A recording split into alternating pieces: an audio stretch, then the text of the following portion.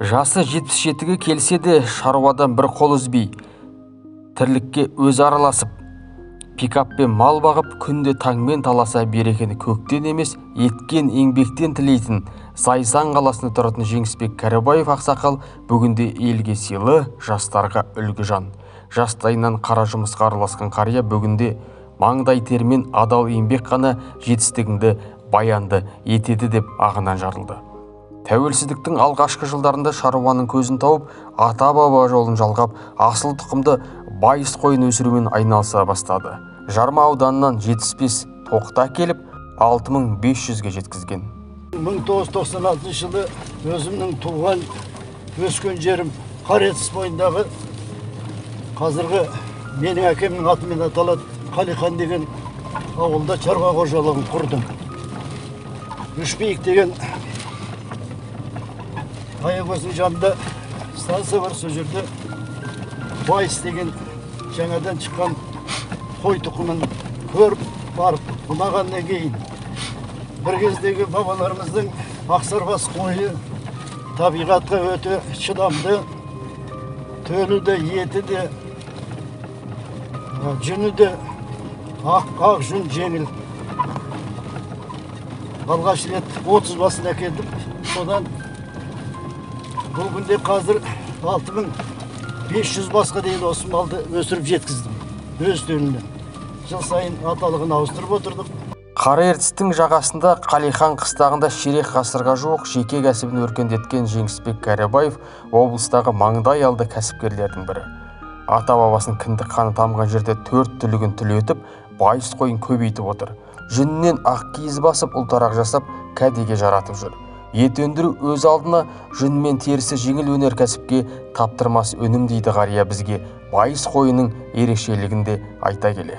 Байыс қойына жететін қойдың басқа қасиеттері жоқ. Бұның ең бірінші қасиеті ешқандай етінде шуаш дәм болмайды. Қойдың бір анау қара қойларда болады еділбайда. Еті керемет тез жетіледі. Екінші наурыз айында осы наурыздан бастап төлдеген төлдің қазір соятын болсаңыз 24-25 келі таз ет шығарып береді. Бір жылға жетпеген. Жүні бұның ақ жүн ақ киіз басып отырмын мен. Ақ киіздің енді қазақтың енді бренд болып саналады ғой. Ақ киіз құран нан. Біздің бабаларымыз айтып отыратын осы үш нәрседен қасиетті нәрсе жоқ қазақ үшін деп. Сол қазір киізді қазақстанда осы басып отырмын мен жыл сайын соны бастырамын сатамын. Бір келі киіз киізден сол қазір ұлтарақ жасаймыз басқа да жасаймыз. Он мың теңгеден сатып отырмын қазір. Бір келі килограмммен сатылады ғой қазір ақ киіз. Енді ақ киіз қазақ үшін ол қасиетті нәрсе.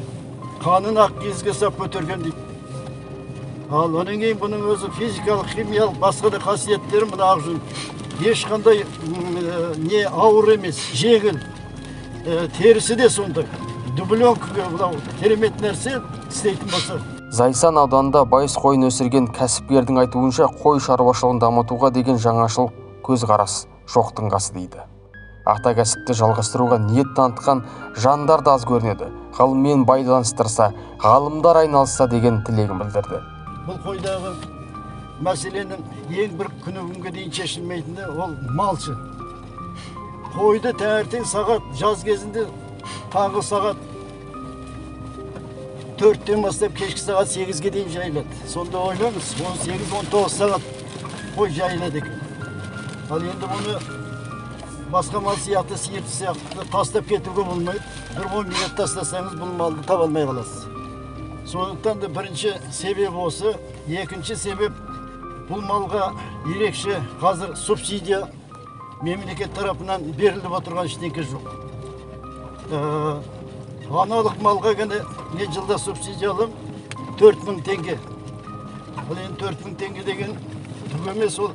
Енді бұның аталық малды сатып алатын болсаңыз жүз басқа төрт қошқар алу керек. Төрт қошқарды қазір қошқардың алды миллионнан асып кетті оны білесіздер хабардарсыздар бәрдеріңіз ешқандай осы мемлекет тарапынан қой баласына қой түлігіне ешқандай бұл ғылыми подход жоқ ғылым жоқ ғылыммен шаруашылық байланысты емес байыз қойын өсіріп жүрген қарияның қорасында бастапқыда жетпіс бес бас мал болса кейін оның саны алты жарым мыңнан асып кеткен бұл көрсеткішті 10-15 мыңға дейін жеткізуге болар еді дейді зейнеткер. Алайда шаруаны маңдытпай тұрған мәселе көп. Соның өзектісі шопан тапшылығы. Сондықтан да алты жарым мың бас қойдан қазір үш жарым мың байыз қой қалған.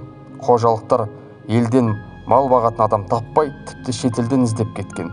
350 мың теңге жалақы айына бір қойын және тамағын берсе де малшы табу қиын болып тұр деп ағынан жарылды. Қазақстанның барлық облысынан маған келіп мал бағатын адамдар бар. Ай сайын үш жүз жақсы істеген адамдарға үш жүз елу мыңға дейін бір оймен сонда есептеңіз. Киімі бар берілетін. бір тауынға жарты миллионға таяу еңбекақы төленеді. Осының өзінде шығын үлкен. Әлгіндей субсидияның кейпәгіндей сонда бұл қойдың қазір проблемасы басынан асып тұр бірақ мынандай қасиетті малды біз енді көпті көрген адам біз өсіріп біз осы болашақ ұрпаққа қазақстанға мына қойды. Өсіру болашақ алдында маған әлі рахмет айтатындар кейін бола ма деп ойлаймын. Дәл қазір рахмет те жоқ бұған ешқандай көзқарас та жоқ. Ойлаңыз алты жарым мың қойдың жайлауындағы менің бар болған жайылымым сегіз жүз гектар жер. Алты жарым мың қойды сол жайлауға. Строймен апарсаңыз да сегіз жүз гектар жерге әлі сыймайды. Байыз қойын төлін сатып алу үшін шығыс қазақстан облысымен қатар жыл сайын еліміздің басқа өңірлерінен де келіп сатып алып кетеді екен. Қызығушылық жоғары деп отыр ақсақал. Маған қызылордадан шымкенттен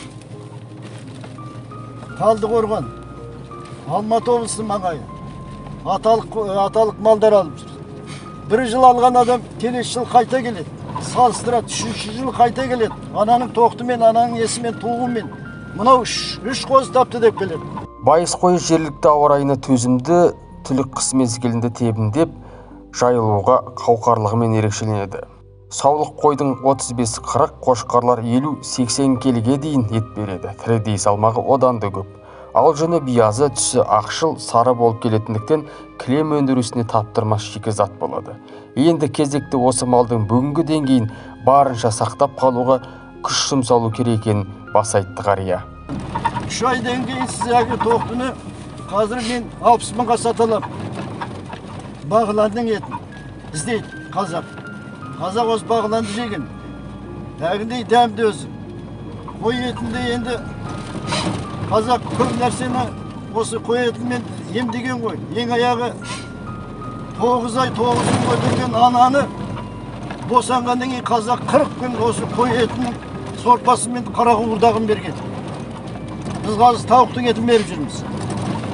Босанған әйелге сонда тоғыз ай тоғыз күндегі әйелдің бойындағы кальцийің ба магнийің ба соның бәрін ана бала жасанды ғой табиғат құдіретті нәрсе. Соны тек қана қойдың қара қуырдағы мен қойдың сорпасы ғана қайтадан кальцийдан әйел восстановить етілген ғой. Осыны біздің бабалар істеп кеткен айтып кеткен.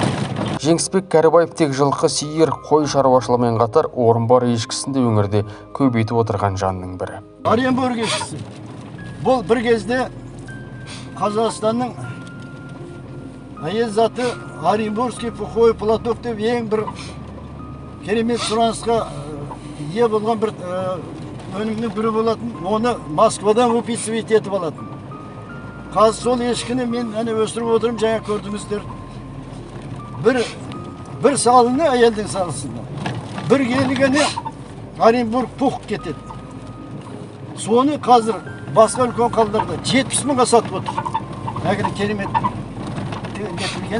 тоқылған сонда оренбургтың мына жаңа көрген денесіндегі үш келі төрт келі шығады бір келіден әлгіндей жетпіс мың тауып әлгіні істейтін болсаңыз біраз адамдар бар осы сайсанда әлгілер алып осыдан э, шәл тоқиды сатып сонымен біраз тіршілігін істеп отырған бабаларымыздың ата кәсібі болып келген қойдың бабын тауып өсіре білсе киер киім ішер тамақ алар пұл болатындай пайдасы көп екенін ежелден білген мал өсірсең қой өсір табысы оның көл өсір деген нақыл сөзді берік ұстанған жеңісбек ақсақал қазақ еліне ақ тілегін былайша жеткізді.